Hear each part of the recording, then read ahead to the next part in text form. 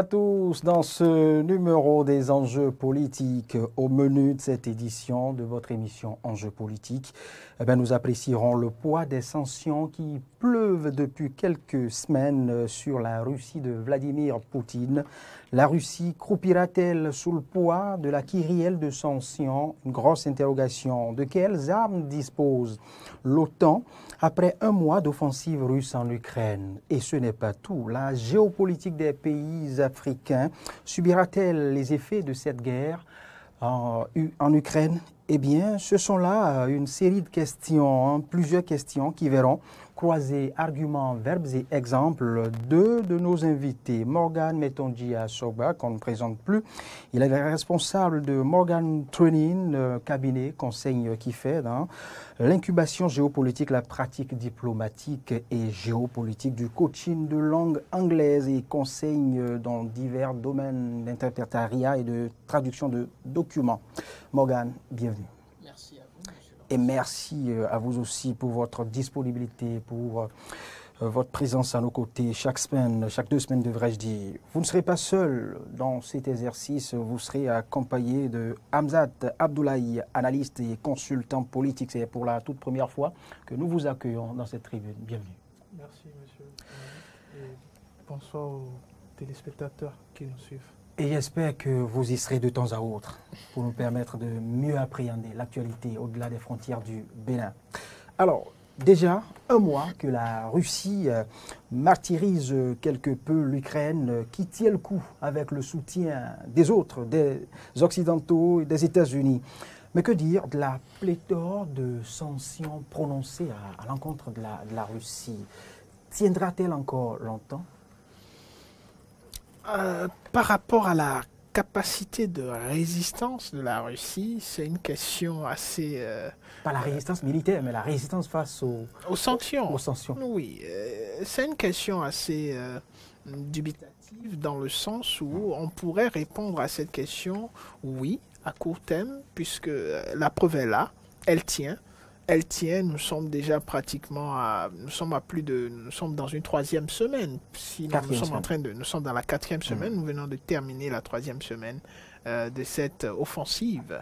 Et donc, elle tient à court terme. 29 jours. 29 jours. Vous voyez, elle tient à court terme par rapport à ces sanctions parce qu'elle a des réserves.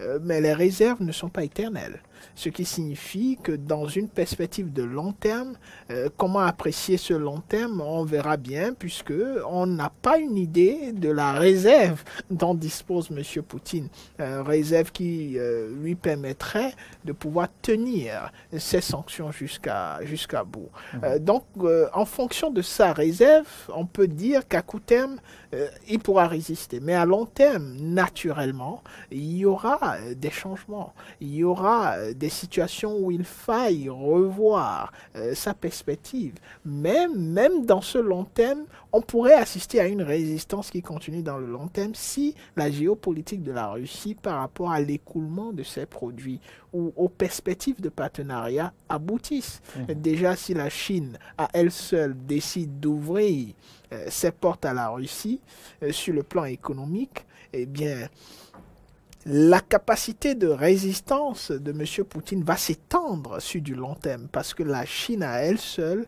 a un marché très intéressant, énorme, et pourrait euh, se voir être une porte de sortie euh, pour la capacité de résistance face aux sanctions dans le long terme de la Russie.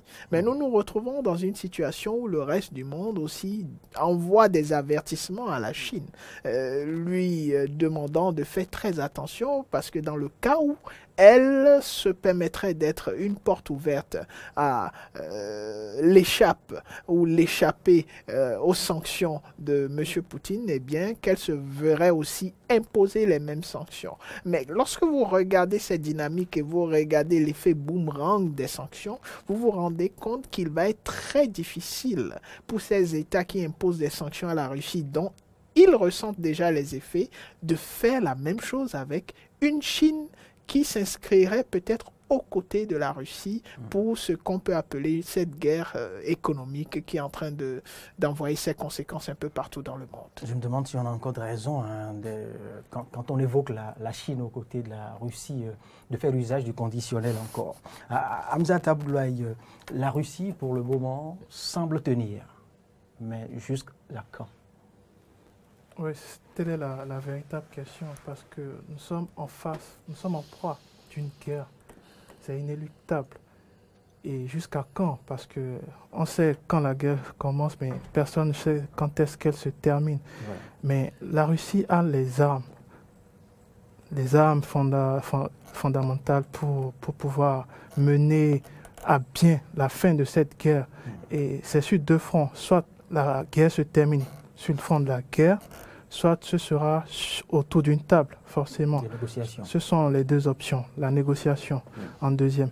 Et Poutine a toutes les armes à son niveau pour, pour pouvoir mettre un terme à tout ceci. Mais on en est encore très loin. Est-ce qu'on va continuer de dire que Poutine a toutes les armes ou bien, ou bien avait toutes les armes? Non, on peut continuer à dire, puisque que mon confrère l'a rappelé, on ne sait pas. On ne sait pas. en ont arraché une bonne partie. Enfin, je veux parler, La- hein, les la- armes économiques. La question, c'est qu'on ne sait véritablement pas quelles sont les réserves de la Russie. On ne sait véritablement pas jusqu'à quand elle peut tenir. Est-ce que ça va être sur 5 ans ou moins?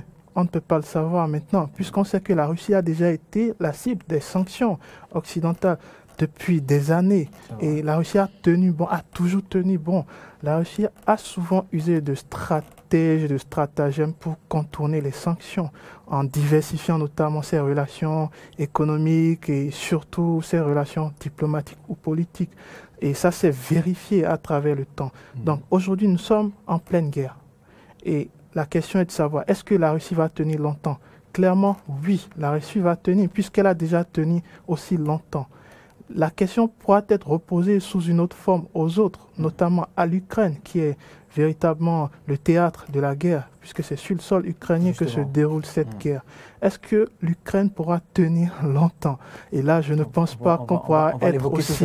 euh, je pense pas qu'on pourra être aussi positif comme quand on était face à la Russie, parce que l'Ukraine, on connaît les réserves de ça- Ça l'Ukraine. reste aussi une grosse question. La question reste posée à partir du moment où l'OTAN intervient en tant que membre qui aide, mais pas en tant que membre qui est sur le terrain de guerre. Mm. L'OTAN participe d'une certaine façon. Mm. Euh, Ça peut être aussi d'une façon déguisée, Mm. en fournissant des armes euh, à l'Ukraine pour qu'elle puisse mieux résister. Donc, plus l'Ukraine résiste, plus la guerre va s'étendre. Et plus l'Ukraine résiste et plus la guerre s'étend, évidemment, Mm. la Russie est dérangée. On va, on en venir tout à l'heure à la, résistance ou non, ou bien à la durée de résistance de l'Ukraine euh, euh, tout, à l'heure, puisque nous sommes au, chapitre économie. Restons-y. Euh, Les sanctions, c'est vrai, il y en a tellement eu, on ne pourra même plus en égrener le, le- le chapelet. Maintenant, les multinationales se sont de- de la Russie. La Russie qui menace, hein, justement, à partir de, de maintenant, de ne céder euh, son, son gaz aux Occidentaux qu'en qu'en rouble, et ce qui reviendrait un peu plus cher.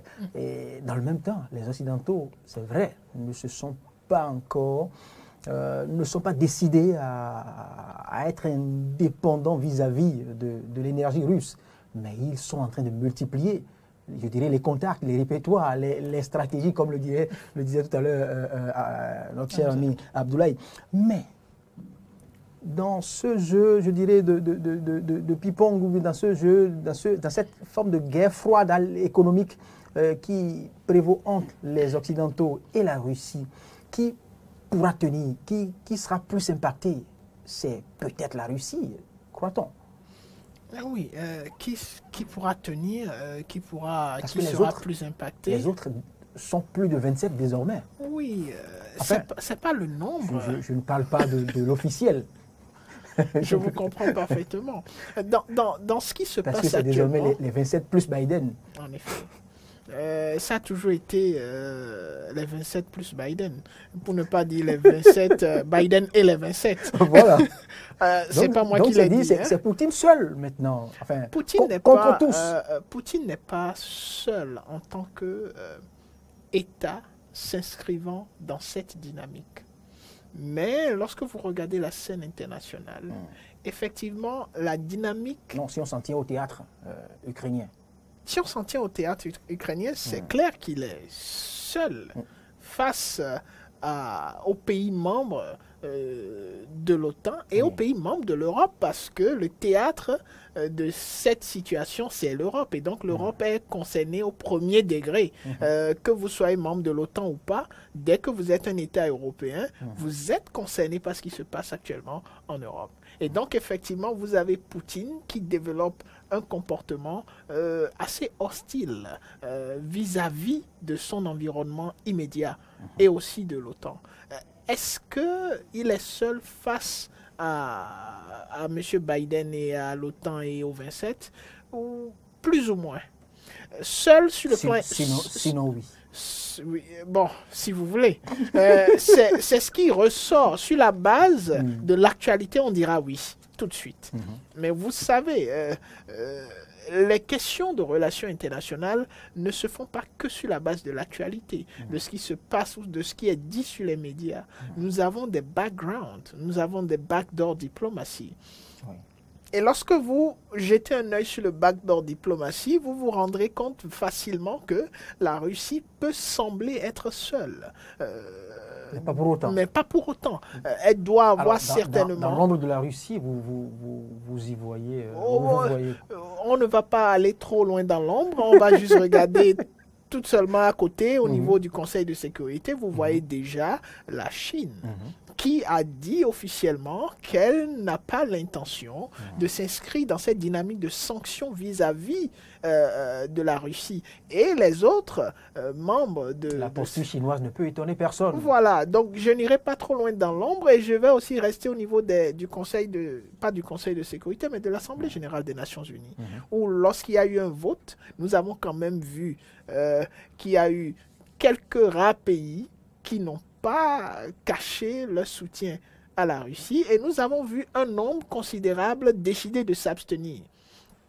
Et l'abstention a plusieurs interprétations, mais l'interprétation la plus plausible de l'abstention, c'est que euh, je ne souhaite pas me prononcer ou me mêler de ce qui se passe parce que je ne pourrais pas dire si c'est bon ou mauvais. Et quand vous dites je ne pourrais pas dire si c'est bon ou mauvais, ça veut dire que vous avez des éléments qui vous empêchent de prendre une position vis-à-vis de cette situation. Et quand on parle d'éléments, on parle tout de suite de coopération, soit bilatérale ou multilatérale. Et donc, la Russie, en tant qu'État, dans sa dynamique euh, diplomatique, a su nouer certainement des partenariats avec un nombre plus ou moins non négligeable d'États. Et ces partenariats sont maintenus si ces États adoptent une certaine position. Lorsqu'on se retrouve dans, euh, sur la sphère officielle où il faille se prononcer. Et c'est ce qui pourrait expliquer donc euh, le comportement d'un certain nombre d'États. Et donc tout de suite, vous ne pourrez pas dire que la Russie est vraiment esselée dans euh, son existence. Mais dans sa dynamique de vouloir d'aller vers une guerre, euh, tout, pratiquement tous les États sont Encore contre. que la Russie même ne l'a pas dit. Voilà. Que sa volonté n'est pas d'aller à une À guerre une ouverte, guerre, mais- juste de démilitariser, de dénazifier. ce qui est un terme technique approprié aux médias ou qu'il faille mettre en avant pour justifier son attitude. Mhm. C'est compréhensible. Et donc je dirais simplement que là, nous sommes dans un rapport de force Mhm. dans le contexte des relations internationales euh, qui nous amène à savoir clairement que le- la seule porte de sortie de ce qui est en train de se passer Mhm. est bel et bien la négociation Mhm. la guerre comme une option de sortie ne sera pas une option de sortie. C'est-à-dire aujourd'hui, si nous voyons euh, aussi bien les États-Unis que les autres pays membres de l'OTAN entrer dans une guerre ouverte avec la Russie, les conséquences vont simplement être plus dévastatrices et tout le monde va perdre davantage. On, va, on aura des pertes en vies humaines, en infrastructures, euh, c'est-à-dire euh, ces pays-là vont devenir des scènes comparables à ce qu'on a eu au lendemain de la Deuxième Guerre mondiale. Ce qui n'est pas souhaité et qui est euh, la chose la plus importante à éviter aujourd'hui. Et donc, l'issue ou la, la dynamique vers une table de négociation semble être le recours le plus plausible et ce qui va se faire, qu'on le veuille ou non, que ce soit tout de suite ou un peu plus loin. Mais je reste quand même sur l'idée euh, d'être assez sceptique euh, par rapport à la survenue d'une guerre mondiale où Mhm. il faudra euh, se mettre dans une dynamique de détruire Mhm. non seulement des vies humaines, mais aussi des infrastructures, que ce soit en Europe, dans le reste de l'Europe Mhm. ou même euh, aux États-Unis. Aucun de ces États ne veut se retrouver et je parie qu'ils sont prêts à tout faire pour ne pas en arriver là. Vous, vous le pensez vraiment, Mm. Morgan? Vous le pensez quand, quand, dans le même temps, on demande à la Russie de Poutine, à Poutine, euh, de, de- de calmer ses ardeurs, mais au même moment, on annonce euh, la tonne d'aide euh, qu'on porte à l'armée euh, ukrainienne dans... Sur le plan des armes, ça peut se comprendre, ça peut se lier dans une dynamique de dissuasion. Dans une dynamique de dissuasion, de vouloir montrer à la Russie que nous ne voulons pas qu'on en arrive là, mais si d'aventure euh, il fallait en arriver là, nous sommes préparés à y être. On peut lire cela dans une dynamique de dissuasion, mais on peut aussi euh, trouver cela euh, comme étant une double façon d'agir qui n'est pas forcément favorable au dénouement de la situation. Tout dépend de l'angle d'observation. Euh, je, reviens à vous, Abdoulaye, Hamzat Abdoulaye. ce, ce- ce caractère, ce comportement antithétique qui, pour moi, reste à la limite l'expression d'une hypocrisie béate. Euh, demander à, à l'autre elle, c'est vrai, se tenir plus ou moins loin euh, de, de cette guerre, mais demander à l'autre elle de baisser les armes, mais tout en armant, tout en fournissant de, de munitions, d'armes à la seconde elle. Euh, je me dis, euh, peut-être que c'est- moi je vois mal, mais vous, avez raison. à la limite hypocrite ou cynique, je, je- je- je pense ce comportement. Oui, nous sommes en plein dans le cynisme parce que en pleine guerre, sur, sur le théâtre d'une guerre, nous, nous, nous sommes confrontés à ce genre de cas. Vous allez voir deux blocs s'affronter et en même temps derrière, deux autres blocs qui sont en train de, de promouvoir un dialogue de paix, Mm. mais qui derrière euh, essaient d'armer leur potentiel partenaire ou leur partenaire de guerre techniquement. Ça, ça, c'est du déjà vu. Ça tout en fait. dissuadant d'autres de, C'est ça le de se comporter comme eux. Bien sûr, c'est le cynisme de la guerre. C'est le cynisme de la guerre. Évidemment, les États européens n'ont aucun intérêt à ce que la Chine s'engage à armer ou à renforcer les Russes. Clairement pas du tout. Parce qu'on sait la force euh, armée des Chinois, qui n'est pas du tout des moindres. Et on sait aussi la force armée des Russes, qui aussi n'est pas du tout des moindres. Donc, mathématiquement, si on rajoute la force chinoise à la force euh, armée russe, eh bien, vous, vous voyez bien, ça aura un impact considérable. C'est-à-dire, on va quitter l'étape de la guerre de résistance de l'Ukraine à une dévastation simple et claire. En- en- en- c'est- et, et bien sûr, c'est l'Europe qui est menacée. Donc, pour éviter cela, évidemment, il faut aussi sur le terrain. ren- Je, je- je ne cautionne pas hein, ce renforcement des, des États européens euh, à, à- à l'Ukraine, mais nous sommes face à une grande puissance, une très forte puissance armée face à une toute petite puissance qu'il faut renforcer, bien sûr, pour équilibrer la balance de la guerre. C'est déjà aussi arrivé par le passé de petits États qui étaient envahis par des États plus, beaucoup plus, plus, plus grands et qui étaient derrière soutenus pour juste résister. Et nous sommes en plein dans ce schéma. C'est du cynisme de guerre. Mais cela peut amener la, la Russie à, à considérer. euh, Je comme- pense que si ça devait arriver, belligérances indirectes là si ça devait arriver, nous sommes à quatre semaines, nous sommes à un mois, Mm. ça aurait pu arriver plus tôt. Mais la Russie est au courant de la situation.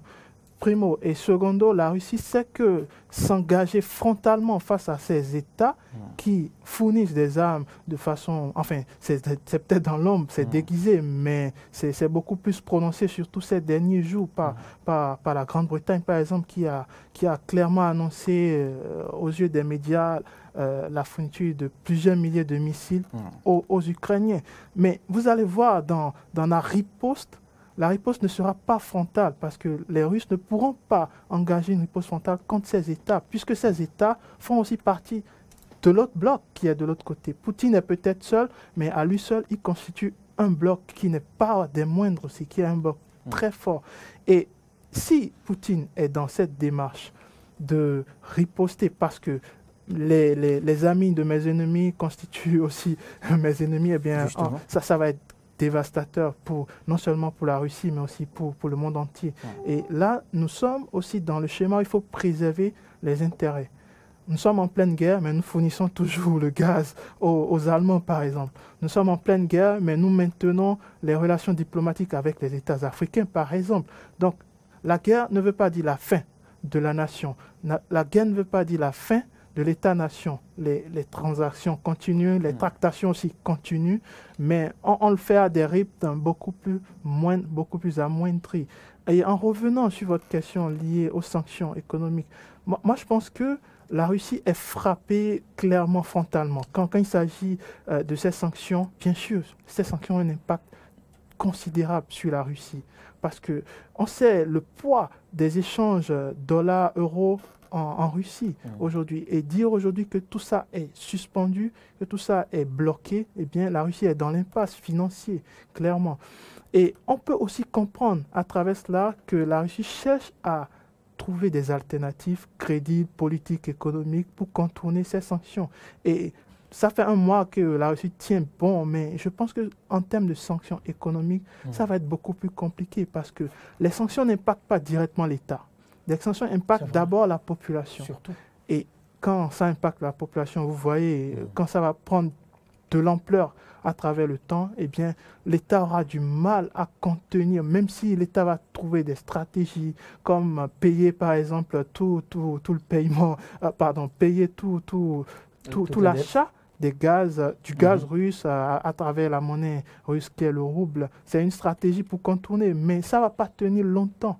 Donc, clairement, la Russie est en train de chercher des alternatives crédibles mmh. pour que, justement, économiquement, euh, l'impact soit allégé parce qu'aujourd'hui, l'impact est, terrible déjà pour le peuple russe mmh. et bien sûr pour les échanges économiques, c'est un gros manque à gagner pour la Russie. Mmh. Avant, de boucler euh, ce, premier point hein, de, notre émission, Morgan Metondi à Sogba, quelles sont les extrémités selon vous euh, je, vais peut-être paraître un peu cynique à travers cette question. Quelles sont les extrémités Le cynisme euh, partout. Hein. quelles sont les extrémités euh, ou les, sanctions les plus extrêmes qui pourront, je ne sais pas, amener la Russie à des morts, à baisser les armes? Aucune sanction ne peut amener la Russie à baisser les armes. Ah Parce que la Russie s'est préparée pour toutes sortes de sanctions. Il n'y a toutes pas les éventualités. toutes les éventualités de sanctions sur le plan économique. Il n'y en a pas. Euh, il y a deux choses qui peuvent arrêter la Russie à ce niveau-ci. Mhm. Des négociations avec des concessions acceptables ou la force.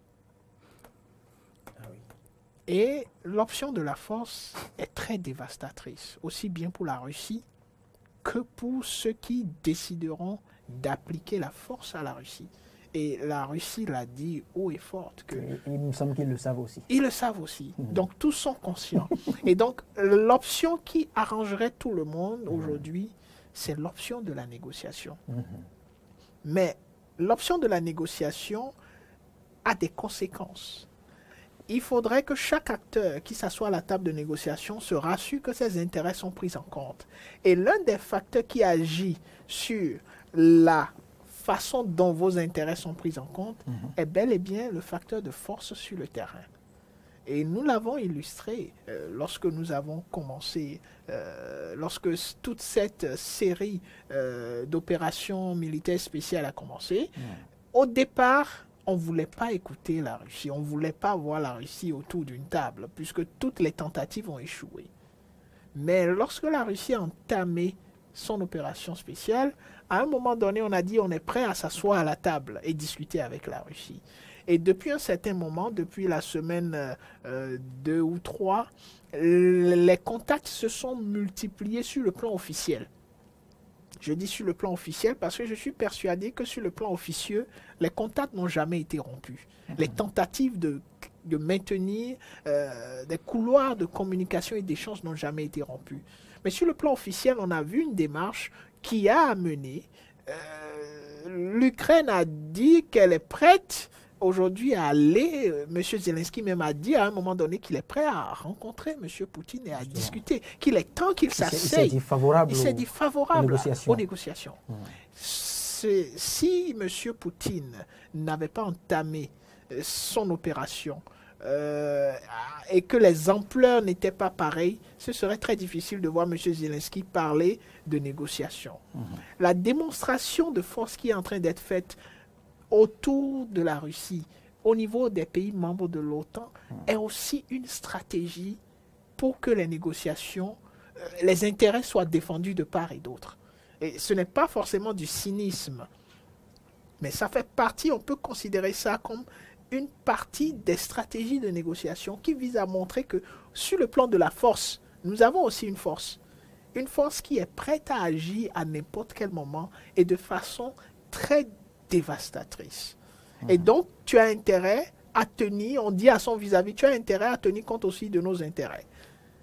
Et tout cet arsenal, et c'est ce que je souhaite, il faudrait que tout cet arsenal amène les États, les acteurs majeurs de ce qui se passe aujourd'hui en Ukraine, je veux nommer la Russie en premier, le président ukrainien Zelensky en second, et surtout tous les membres de l'OTAN avec en tête de poule les États-Unis d'Amérique à s'asseoir autour d'une table de négociation beaucoup plus sérieuse et à tenir compte des différentes concessions parce que, qu'ils le veuillent ou non, ils finiront par s'asseoir. Ça, c'est une évidence. Lorsque vous regardez l'histoire des guerres, l'histoire euh, des conflits, les conflits se terminent toujours autour d'une table où les différents protagonistes, les acteurs décident de écouter, on n'en peut plus, on préfère s'en arrêter là, il faut qu'on détermine les conditions de nos futures collaborations. Mmh. La question qu'on doit se poser aujourd'hui, c'est combien de personnes doivent encore mourir? Avant, d'y arriver. Parce que là, euh, dans la dynamique qui s'inscrit aujourd'hui, on est tous pensés, penchés, si vous regardez les médias, les médias sont penchés vers un seul acteur qu'on considère comme étant la cause de ce qui se passe.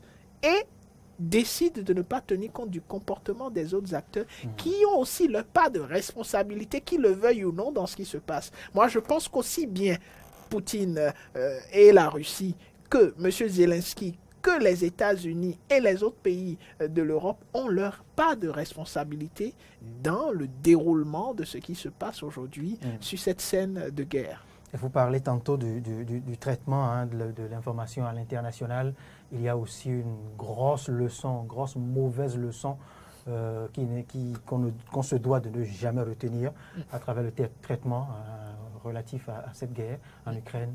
C'est que les Occidentaux nous prouvent contrairement à tous les principes journalistiques, que euh, à des moments donnés, on peut traiter l'information dans un seul sens, mhm. ce qui n'est jamais à faire. Puisque ça, ça, ne nous a jamais été enseigné.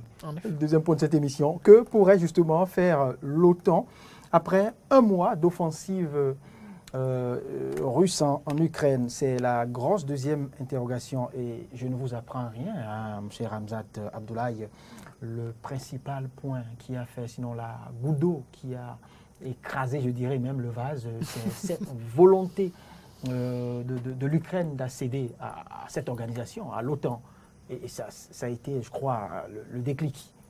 Euh, et, vous vous rappelez au détour des négociations, euh, des presque négociations, je dirais, au cours de cette invasion russe, Vladimir Poutine y a insisté, il ne sera jamais question. Ben, l'OTAN sera tout sauf l'Ukraine, en quelque sorte. Alors, Volodymyr Zelensky a semblé avoir compris euh, cette posture de, la Russie et n'y insiste même plus. je l'ai suivi hein, plus d'une fois à travers ces petites vidéos euh, quotidiennes.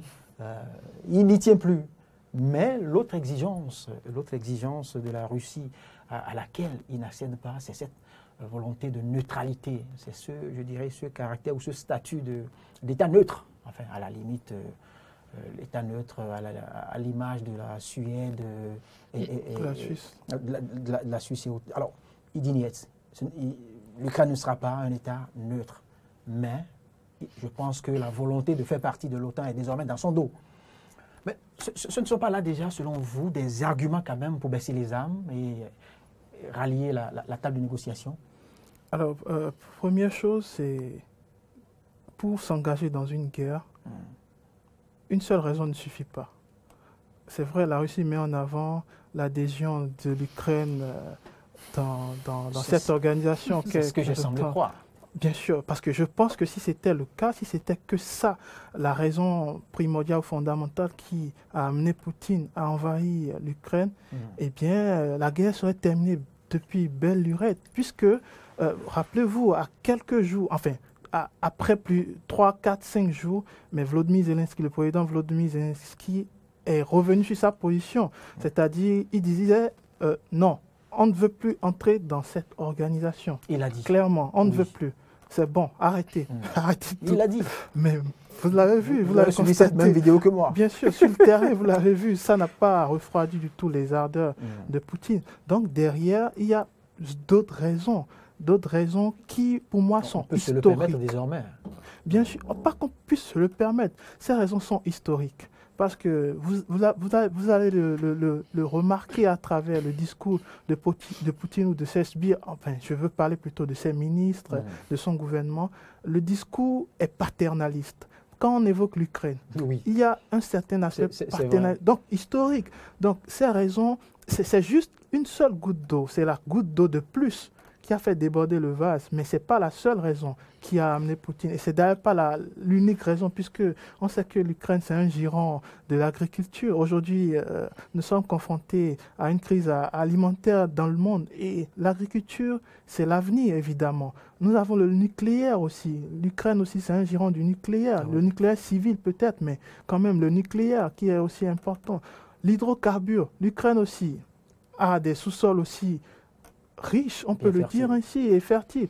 Donc, moi, je vois tous ces paramètres comme étant des motifs Hmm. suffisants pour euh, envahir l'Ukraine. Maintenant, est-ce que envahir l'Ukraine euh, reviendrait à l'annexer? Mon confrère l'a dit, je ne pense pas que Poutine soit dans, dans cet état d'esprit, c'est-à-dire annexer l'Ukraine. Et pour revenir à, à votre Il a développement, dit que ça n'a jamais fait partie de, de ses, de ses ambitions. Vous même, savez- même si c'est le contraire qui se vit sur le terrain. il y a ce qui séduit l'esprit Oui. de ce qui se dit, Sa volonté pas surtout de, chez les politiques, les hommes n'est pas politiques. de s'approprier l'Ukraine. Bien sûr, c'est ce qu'il faut mettre en avant. Mais, mais on, on va se poser plusieurs questions derrière cette affirmation. Je ne veux pas euh, envahir l'Ukraine, mais quand C'est même. juste une euh, opération spécifique de toilettage. Mais allez, on va arrêter. vider l'Ukraine des nazis. Encore, on ne sait pas qui sont les nazis. Et pour, pour, pour rebondir aussi vers la fin de la première partie où on évoquait la guerre de l'information, l'information, en fait, surtout en temps de guerre, c'est c'est capital.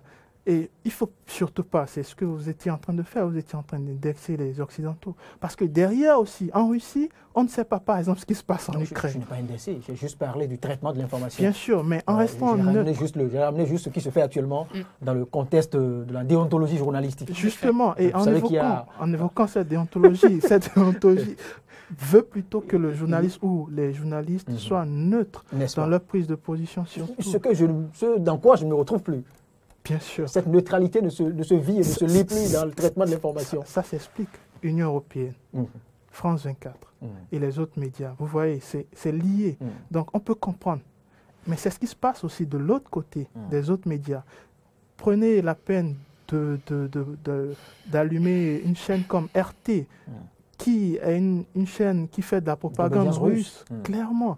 Donc vous allez voir, c'est les mêmes choses, mais sur des échelles, Mhm. sur des échelles opposées. Oui, mais, mais- mais de Ça s'explique. Euh, Une petite parenthèse, puisque vous, vous la- vous l'avez ouverte, restons-y euh, pour dire un mot. Mais de, de l'autre côté, du côté des Occidentaux, euh, leurs chaînes euh, ne font pas de la propagande, leurs chaînes informent.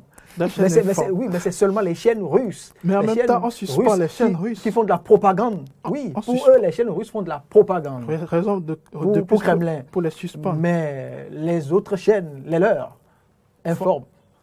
Bon, je pense que si on s'en tenait qu'à ça, euh, Poutine ne serait pas arrivé à exclure Mm. d'ailleurs Facebook ou Mm. Instagram de, de- de son territoire, clairement, qui, qui va au-delà de, de- de- de- de- des médias traditionnels. Mm.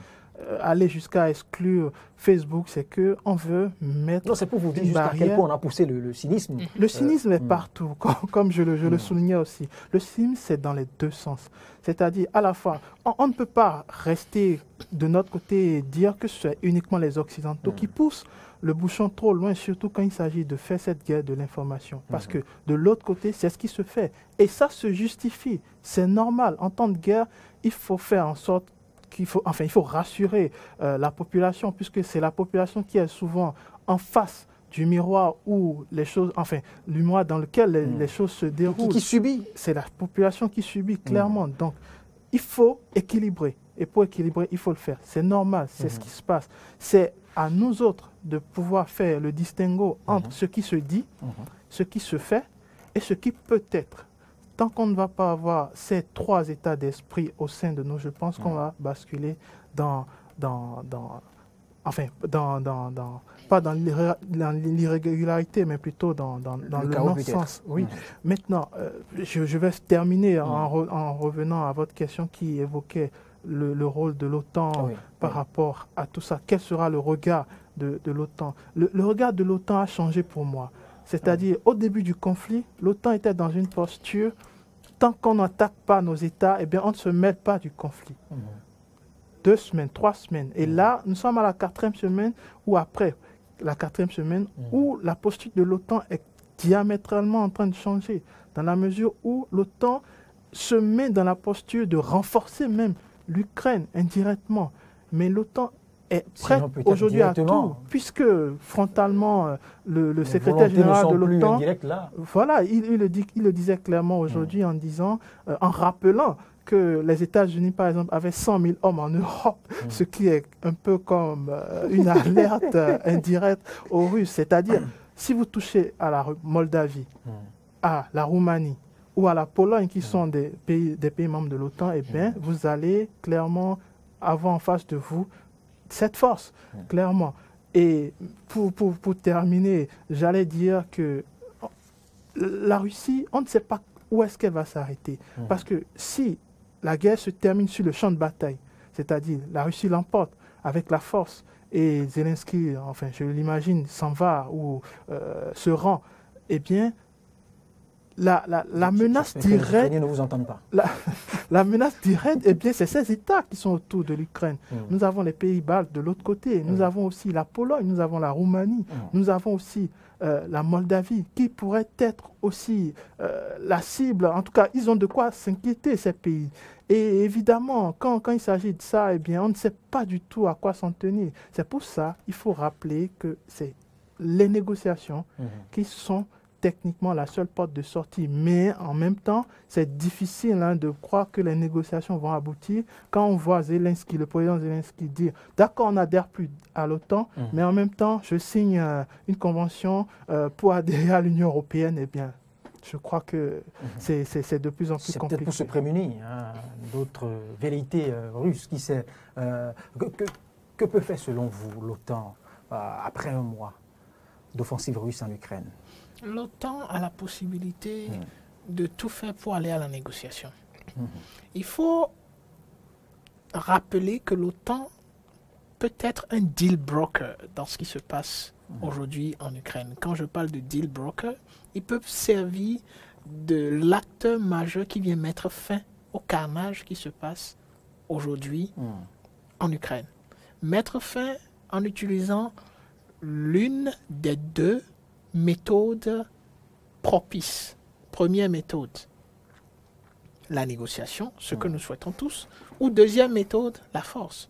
Ce que même ne souhaite pas. L'OTAN n'a pas les armes pour la force tout de suite. L'OTAN Enfin, a, les armes, je veux dire conventionnelles. l'O- l'OTAN a Euh, tout selon- ce qu'il faut. Selon, selon quel principe l'OTAN pourra se permettre d'attaquer la Russie Oui, actuellement, effectivement, il n'y a aucun principe, C'est ce que je dis. une base juridique C'est ce que je qui pourrait Ce serait, de la, ce justifier. serait de la provocation. Ce ne serait pas de la provocation, ce serait une déclaration de guerre. Alors, ça va au-delà de la provocation. Euh, ce qui se passe aujourd'hui peut être de la provocation, peut être considéré comme la provocation, c'est-à-dire envoyer des hommes, renforcer les positions d'armement. Et il faut dire que la Russie a considéré cela comme étant de la provocation et a même justifié son opération par cette attitude, parce qu'elle a dit, ben écoutez, euh, on ne- on n'est pas en situation de guerre, mais on voit les États-Unis qui sont en train de renforcer leur base militaire au niveau de tous les pays membres de l'OTAN qui sont limitrophes à la Russie. Mhm. La Russie dit, ben, écoutez, nous avons des preuves que les États-Unis développent euh, des centrales de- de- d'expériences nucléaires, d'armes biologiques, et qu'ils soutiennent euh, ces centrales-là euh, en Ukraine. Et leur offensive semble avoir amené même les États-Unis à reconnaître à un moment donné qu'effectivement il y a des bases biologiques qui existent en Ukraine et que ce serait vraiment une catastrophe que ces bases-là tombent entre les mains de la Russie. Ce qui veut dire que c'était déjà de la provocation pour euh, la Russie, entre autres, le fait de voir des armements se positionner. Et quand vous entrez dans l'histoire euh, des conflits, vous voyez aussi la crise des missiles de Cuba, où les États-Unis ont considéré euh, le positionnement des armes, des missiles russes au niveau de Cuba comme étant une menace à la sécurité des États-Unis et ont amené les Russes à replier leurs armes.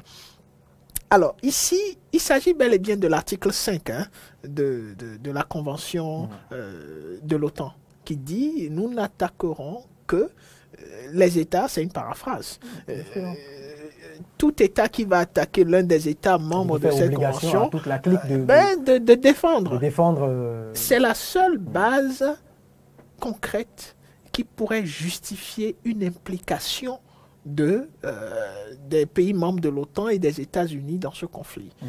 Et donc, étant une base qui n'est pas souhaitée mhm. et qui n'est pas franchie, dont la partie adverse, si on peut l'appeler ainsi, qui est la Russie, a conscience pleinement mhm. et ne veut pas se retrouver nez à nez avec euh, l'OTAN dans un conflit, parce que qu'on le veuille ou non, M. Euh, Poutine a quand même conscience que ce sont des êtres humains qu'il envoie sur le champ de bataille et que déjà les pertes en vies humaines en matière de soldats russes ne sont pas les moindres et qu'il faudra rendre compte à la nation russe de ce comportement, même si euh, la Douma semble avoir validé euh, l'offensive euh, de la Russie.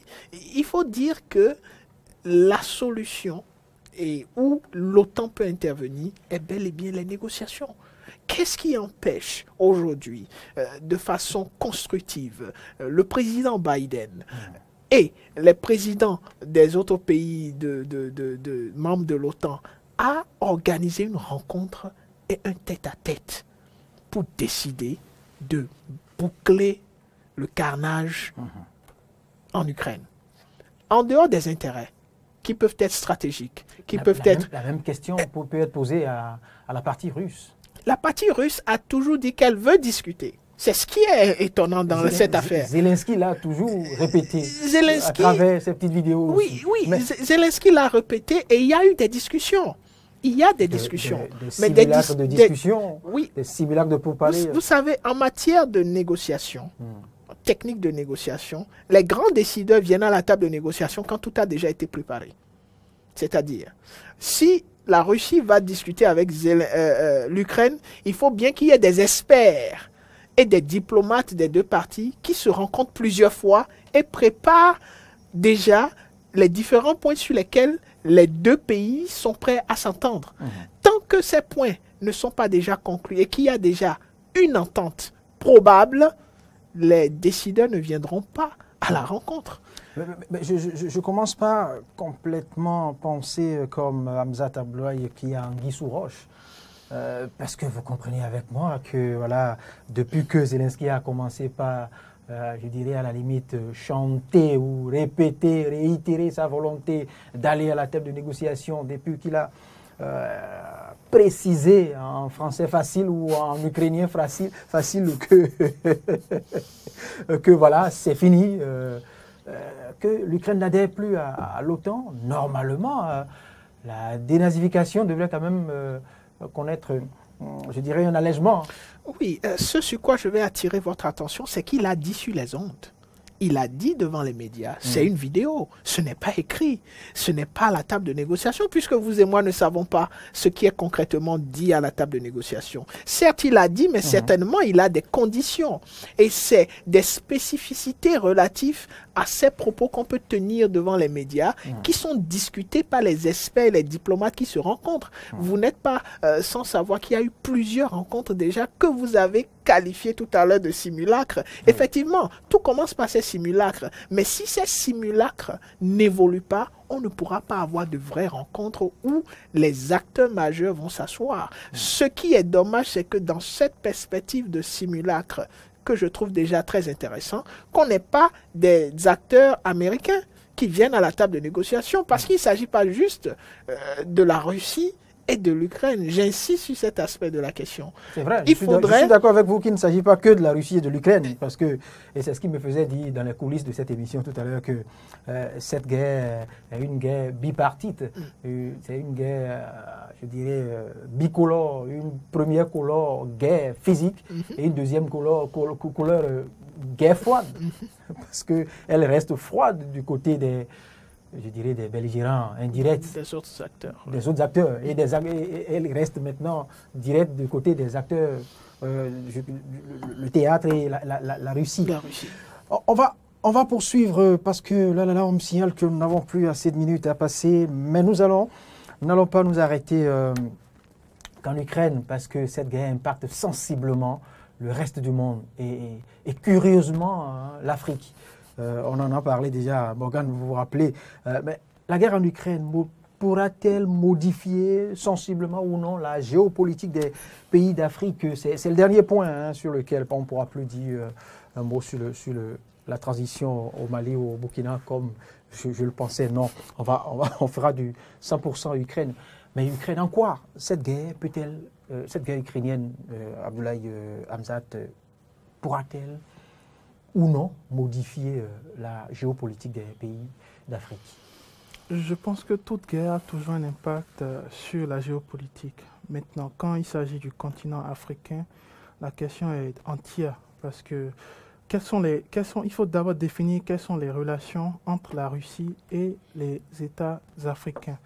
On sait que en tout cas, ces, dernières années, en tout cas, ces, relations ont été renforcées. Pas dans tous les États africains, mais c'est beaucoup plus des, relations économiques, euh, euh, des, relations diplomatiques euh, un peu moindres, mais c'est beaucoup plus économique que, que, politique. Mhm. Mais aujourd'hui, on peut se dire, avec ce qui se passe en Ukraine, que les Africains ont la possibilité en tout cas de, de, pouvoir faire les meilleurs choix possibles. Les meilleurs choix en termes de partenariat, en, en termes de, de, les meilleurs choix en termes aussi d'adhésion à mhm. des pensées et courants politiques, clairement.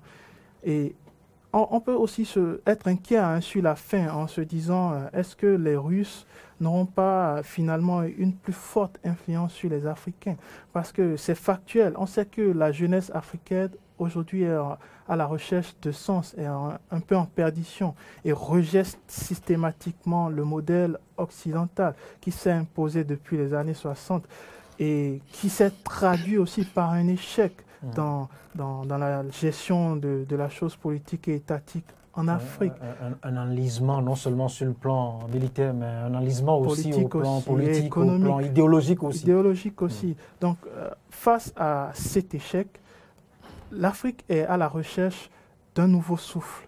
Est-ce que la Russie peut être ce nouveau souffle? Cela a été, enfin c'est une hypothèse hein, qui a été émise depuis plusieurs années, surtout par, par les panafricains, euh, les panafricanistes. cette, hypothèse est déjà en train d'être explorée par certains pays sur le continent. Bien sûr, on peut, on peut surtout dans l'aile ouest. On peut évoquer le, cas du Mali, par hmm. exemple, qui est soutenu Centrafrique. pas, pas, pas, pas, pas l'affiche, hmm. mais un peu en sourdine par la Russie, puisque euh, on n'a pas vu d'accord euh, signé hmm. entre le, gouvernement russe et le gouvernement. Bon, mais, mais clairement, vous allez le voir, les, les, les, porte les porte-paroles euh, du gouvernement malien l'évoquent plusieurs fois que hmm. non, c'est plutôt des relations bien ficelées entre la Russie et le Mali. Hmm. Bon, personne n'a vu le contraire où on a vu d'ailleurs la preuve de, mm. tout ce qui se dit.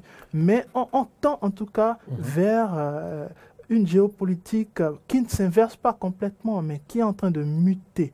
C'est-à-dire la géopolitique qui était plus sous l'influence occidentale en mm. Afrique est en train de se poser des questions à travers déjà cette jeunesse que j'ai évoquée plus tôt. Donc cette géopolitique est en pleine mutation. Mm-hmm. Donc face à la mutation, évidemment, on peut basculer, mais ça ne va pas être tout de suite, puisque ça ne pourra pas être brusque, parce que ça mm. nécessite euh, plusieurs facteurs mm-hmm. qu'on n'est pas prêt de réunir là tout de suite. Mais ce qui est certain, c'est que c'est l'issue de, de ce conflit qui va plus nous situer. Parce que là, nous sommes en plein conflit. Les relations ne sont pas au bon fixe, même avec la Russie ou avec l'Ukraine, puisque on sait que les États africains exportent euh, le blé russe et ukrainien aussi à la fois.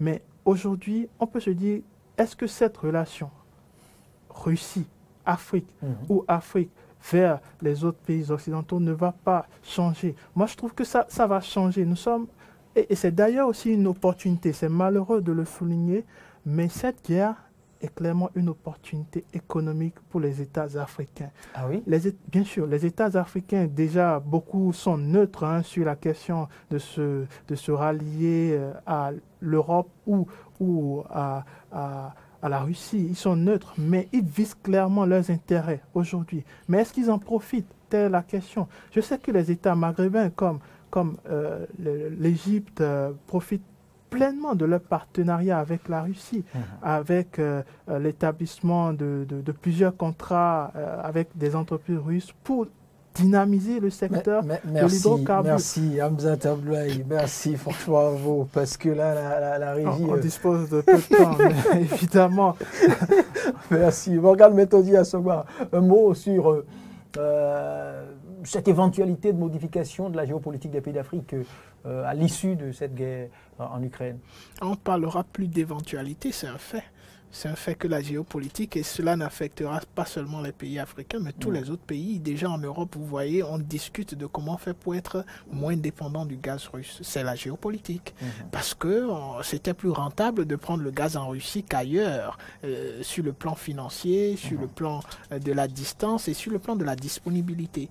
Euh, C'est pareil en Afrique. La géopolitique change tout de suite et changera davantage à la fin de cette crise. Parce qu'il faudra choisir euh, euh, ses partenaires prioritaires. On ne peut pas dire qu'il y aura rupture de partenariat ou de coopération avec qui que ce soit, mais il faudra faire un choix prioritaire. Et les États africains sont très concernés actuellement. La géopolitique a commencé déjà à l'Assemblée des Nations Unies par rapport au positionnement. Elle a continué parce qu'aujourd'hui, la plupart des États africains qui dépendaient hautement du blé euh, de l'Ukraine ou de la Russie sont en train de revoir Mhm. d'autres euh, issues pour leurs différents besoins. Mhm. Donc euh, voilà. Merci Morgane Méthodi Assogba. Euh, J'ai j'ai suivi Poutine ce matin. Je m'attendais à ce qu'il se prononce sur peut-être euh, la volonté de la Russie de ne plus fournir de- de- de- de- du gaz russe aux pays occidentaux. Mais non, il ne l'a pas dit. Il a seulement mis l'accent sur la, la monnaie, La devise. euh, la devise qui va Désormais, bientôt changer. Ce ne sera plus de l'euro. On manipulera plus l'euro ou le dollar pour les transactions, mais plutôt en rouble. Merci C'est un Assoba. Merci Hamzat euh, euh, Abdoulaye euh, pour votre disponibilité, pour nous avoir permis de mieux comprendre euh, un pan de l'actualité au-delà de l'Afrique. C'était ta forte dominante euh, Ukraine. On se donne rendez-vous dans deux semaines pour parler encore de l'Ukraine ou peut-être pour décortiquer la fin de la guerre, qui sait. On continue de, de- de rêver pour le moment. Deux semaines, en deux semaines, euh, euh, beaucoup de choses peuvent, peuvent se passer. hein. Peut-être qu'on re- se retrouvera ici pour parler du règlement de ce conflit et tout. Très bonne écoute à toutes et à tous et à bientôt.